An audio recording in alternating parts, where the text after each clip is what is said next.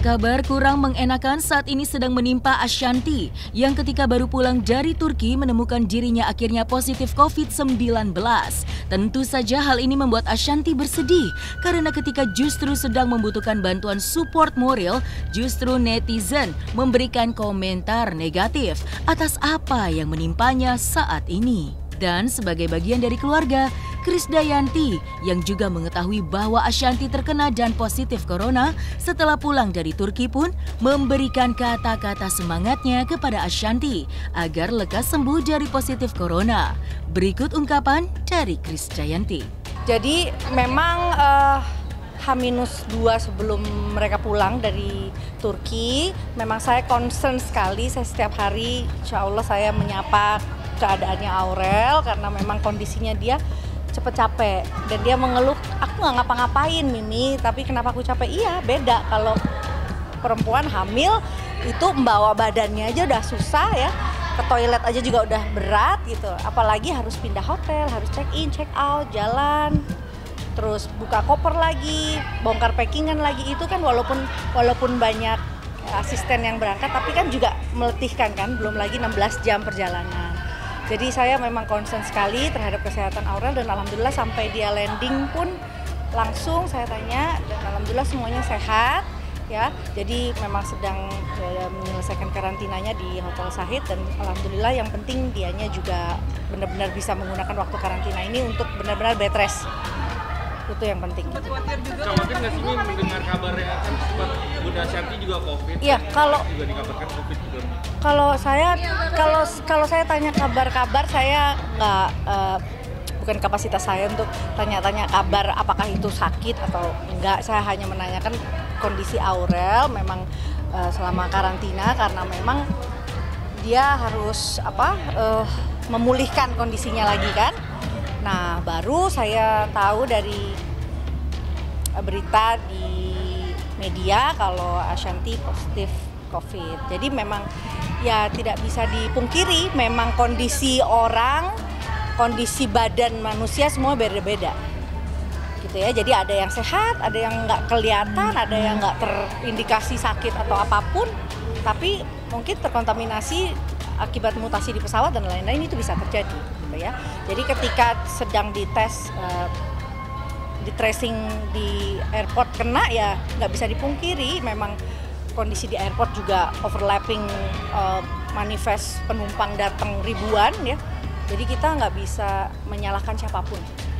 Satu yang penting Ashanti sudah menjalankan tuh apa ya tugas-tugasnya untuk menyelesaikan tanggung jawabnya untuk karantina itu udah udah buat saya itu udah luar biasa. Tapi ini salah yang terjadi gara-gara uh, memilih untuk tidak ikut. Oh enggak, banyak kan saya sudah sampaikan di depan bahwa banyak hal yang membuat saya dan suami memang tidak bisa berangkat gitu ya. Jadi memang beberapa alasannya karena memang suami juga belum bisa menyelesaikan pekerjaannya dan saya memang ada tanggung jawab juga dari uh, kepartaian dan juga di legislatif yang memang tidak Eh, membenarkan saya untuk tugas ke luar negeri sampai Januari ini. Jadi memang uh, kita memutuskan untuk nggak ikut karena memang ada tanggung jawab tanggung jawab yang memang harus diselesaikan. Saya nggak nggak tanya kondisinya, saya cuma ingetin dia untuk tidur, tidur, tidur Ashanti gitu. Pakai waktu, ya karena memang kadang kalau mengklaim dirinya aku nggak sakit, aku nggak ada gejala, tapi memang harus harus harus istirahat ya namanya isolasi ya dan dan isolasinya Ashanti pun juga di rumah sakit isolasi yang dipilih ya yang rujukan. Jadi memang uh, tidak tidak ada hal yang salah di sini. Gitu. Maka ketika Ashanti dipastikan terkena virus corona yang kedua kali dan untuk yang kali ini baru saja pulang dari Turki, tak pelak banyak hujatan yang ditujukan kepada dirinya. Ashanti pun mengatakan bahwa dengan kejadian ini, dirinya mengetahui mana kawan yang benar-benar kawan di saat sedang terjatuh dan mana yang tidak. Dalam unggahan di akun media sosialnya, Ashanti pun mencurahkan isi hatinya. Berikut ungkapannya. Buat kalian yang mencaci di saat kondisi aku lagi begini, aku ucapkan terima kasih. Semoga kalian diberi kesehatan. Kalian gak pernah tahu alasan seseorang untuk melakukan sesuatu. Tetapi begitu ringan menghujat. Kalian tidak pernah tahu isi hati orang, lalu bisa seperti yang paling paham. Kita pergi juga bukan murni liburan.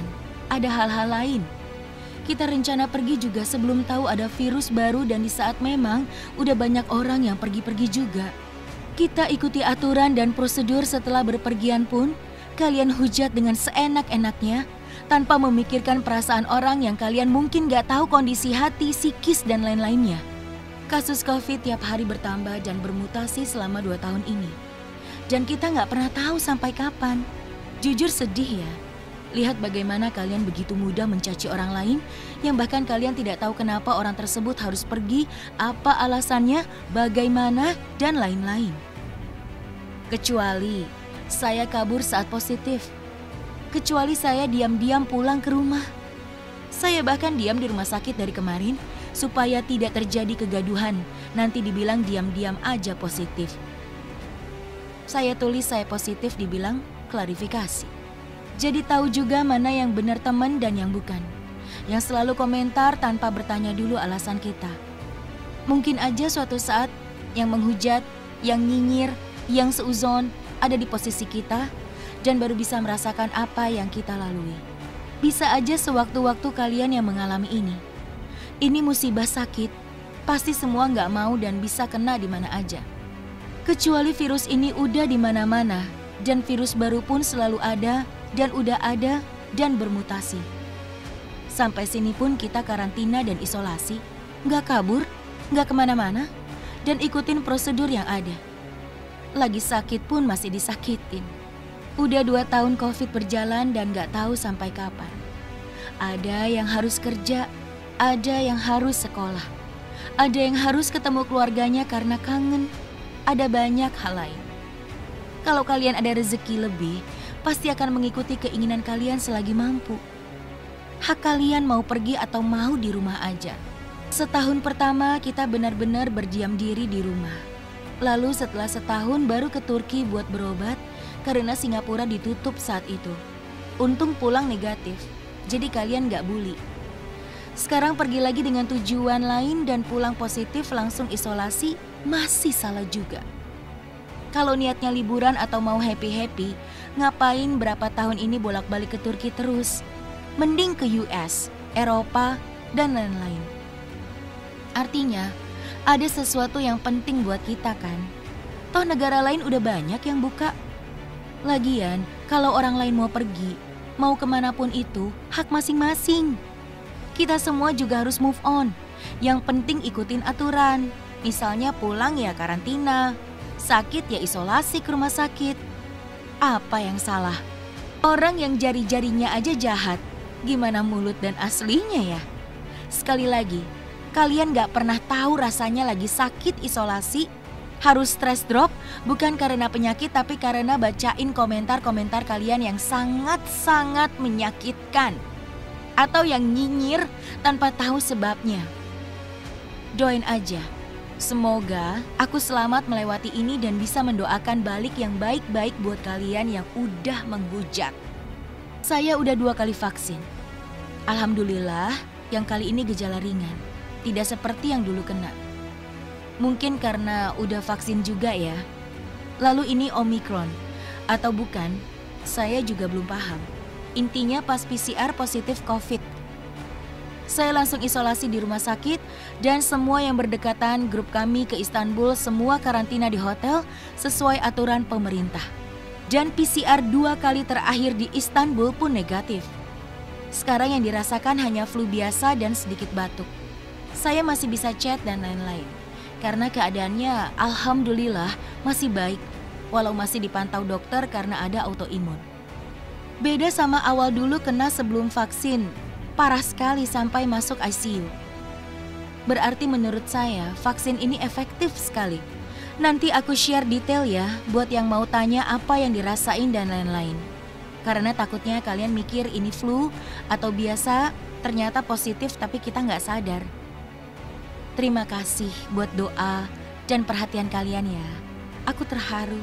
bagaimana kalian yang mendoakan dan mensupport dan belain sampai segitunya padahal kita nggak saling kenal.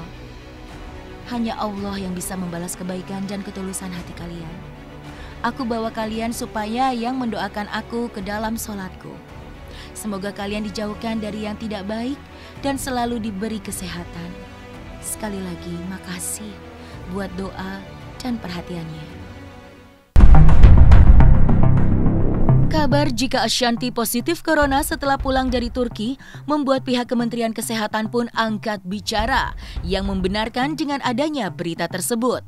Selain Ashanti, terdapat delapan orang yang juga positif corona yang masuk dalam rombongan Ashanti saat pergi ke Turki.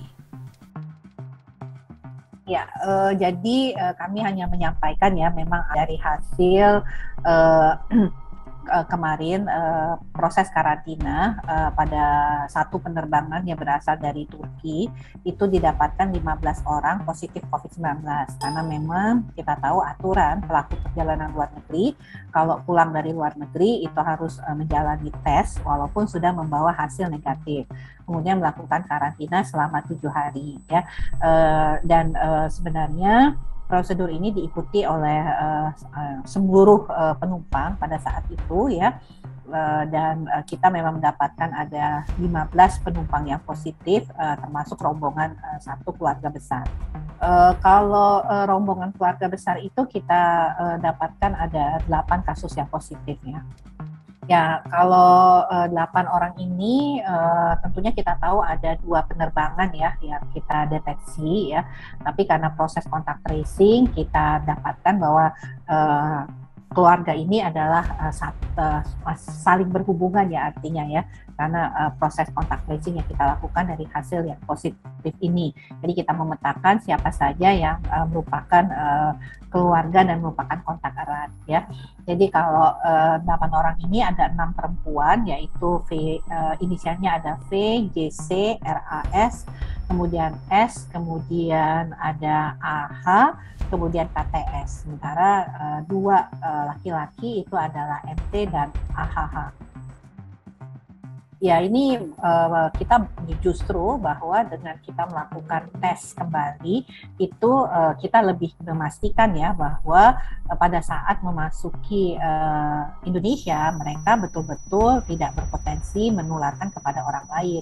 Ini adalah prosedur standar ya uh, dan uh, sangat memungkinkan juga kalau uh, terjadi uh, perbedaan hasil dikarenakan kita tahu bahwa ada masa inkubasi dari virus di mana uh, mungkin pada saat uh, pemeriksaan di Turki itu belum terdeteksi, tetapi pada saat uh, sampai ke Indonesia itu kemudian uh, jumlah virus yang ada di dalam tubuhnya sudah dalam jumlah yang cukup sehingga alat diagnostik kita yaitu uh, PCR itu bisa mendeteksi adanya virus tersebut. Karena kan uh, alat laboratorium itu mendeteksi berdasarkan level tertentu dari jumlah virus yang ada di dalam tubuh kita.